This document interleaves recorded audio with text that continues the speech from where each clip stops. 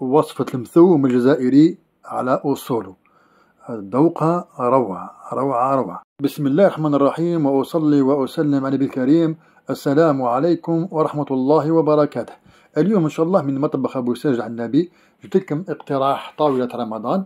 آه المفروض يعني نعملوها في الأول ولكن اليوم من حان الوقت اللي خدمتها وهي وصفة المتوم الجزائري. اللي تجي روعة. ذوقها بسم الله. ما شاء الله.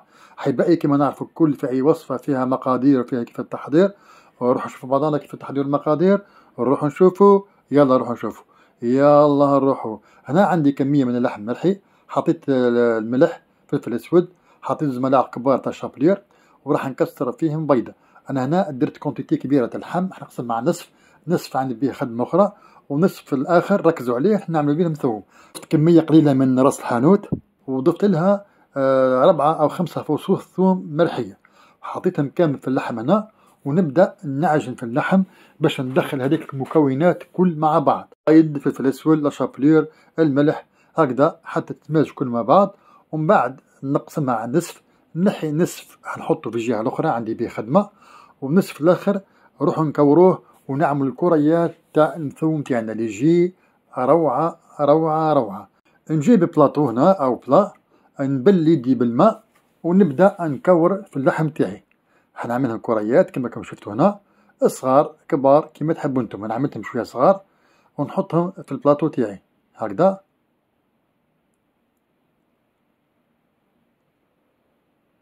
نبقى نكور فيهم كامل.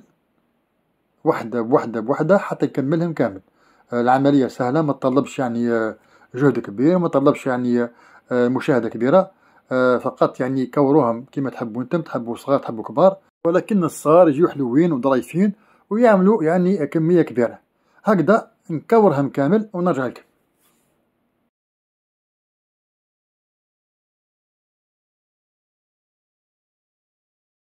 بعد ما كملتهم كامل جبت الطنجرة هذه أو الطاجين هذا حطيت فيه ملعقة كبيرة تاع السمن ندوب مليح ونحط ثلاثة قطع تاع لحم.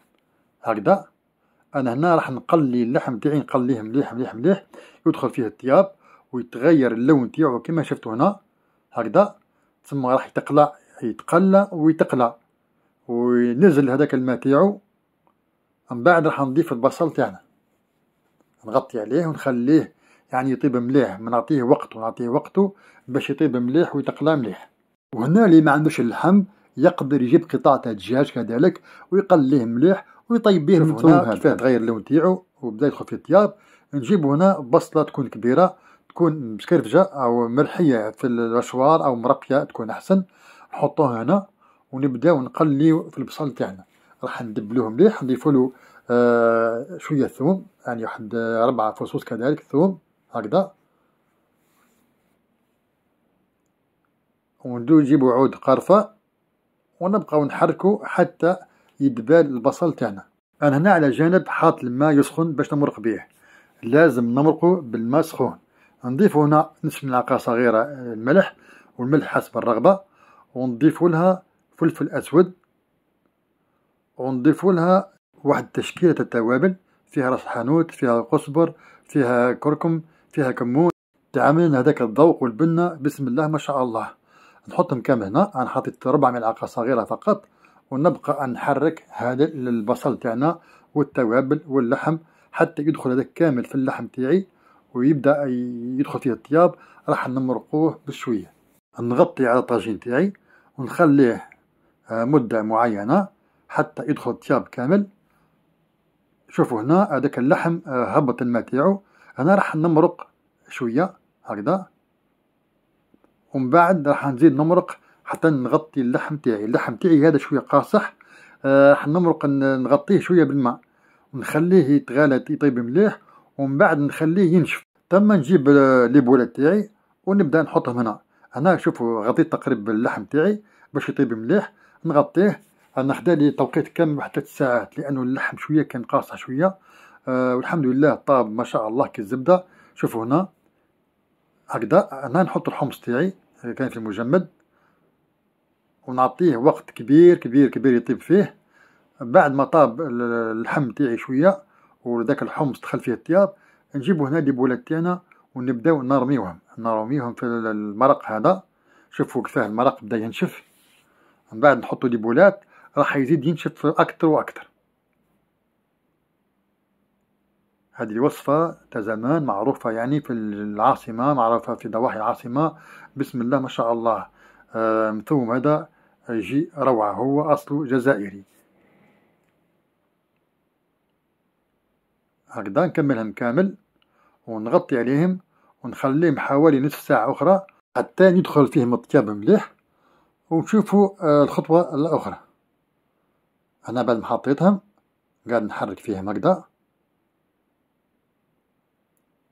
من بعد حنغطي الطاجين تاعي ونخليهم يتغلاو يتغلاو حتى يطيبوا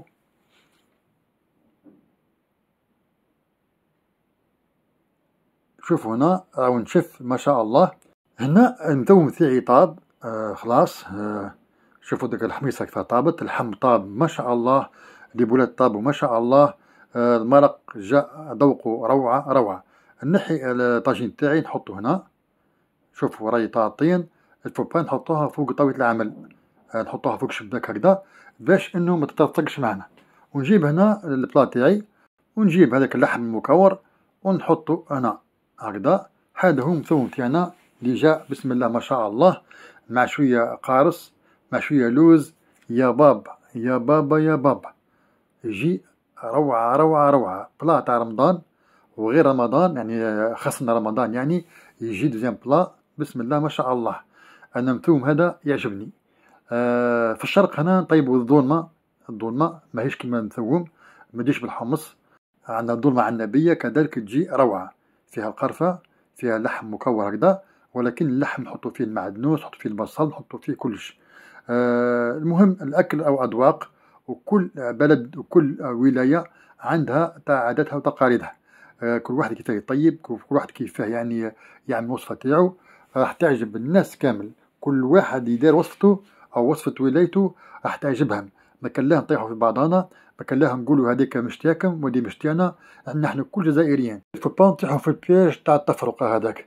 أنا عملت جاري للنبي وكان يعني وصفة في التيك توك طلعت يعني ما شاء الله ولكن تعليقات كنت تدخلوا تعليقات تشوفوا تعليقات قسنطينة تقول لك جاري تاعي سكيدة يقول جاري تاعي الطارف يقول جاري تاعي كل واحد يقول جاري تاعي. وهذا مشروع النبي وأنا ما قلتش جاري عن النبي أنا ذكرت وقلت الجاري راهو يسميوه في الشرق تقريب كامل.